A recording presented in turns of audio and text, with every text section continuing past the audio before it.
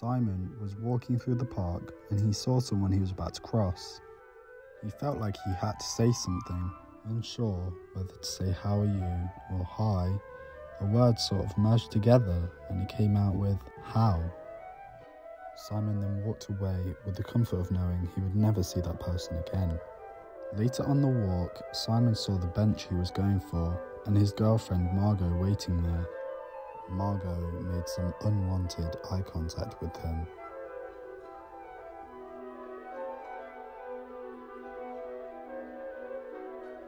He began to feel very uncomfortable. With no other option, Simon had to have his head down, typing in numbers to the calculator in order to fill the time. Simon finally sat down at the bench with Margot just as she stood up to give him a hug and before they could start a conversation, Simon said, I think we should break up. He knew she would be angry, but he didn't care. It wasn't important to him. As he was spacing out, she started saying something that he needed to hear, that he wasn't able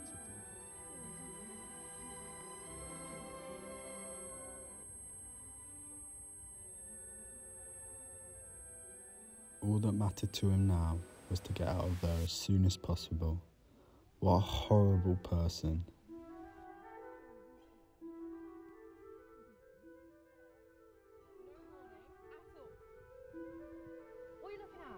But without looking back or letting her speak, Simon left as if she didn't need to exist to him anymore, and he didn't think anything more of it.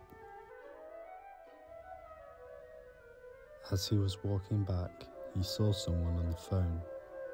Simon recognized her as his friend Susan and gave her a friendly wave. Susan, he shouted.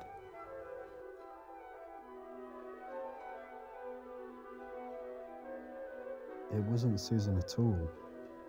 He had just waved at a random stranger. And it wasn't a random stranger.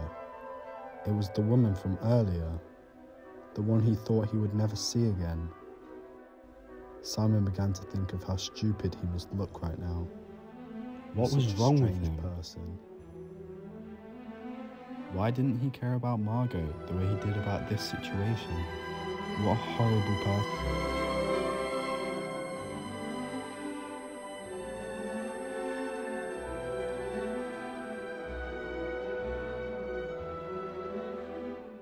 Simon was now standing against the wall, unsure what to do with himself. He frantically looked around, noticing more and more small details in his environment. It was all too much for him. The air was too cold for him, yet his hands were clammy and warm. He hadn't done any exercise, but his heart was thumping into his chest. This confusion forced Simon to focus on everything intensely. The sweat between his palms, the breeze on his face. He even looked to his side and caught someone's eye. She was probably wondering what was wrong with him. What a weird. Nobody liked him. What a strange.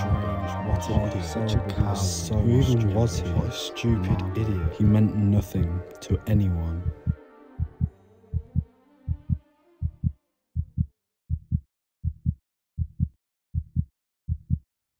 And finally, not even Margot.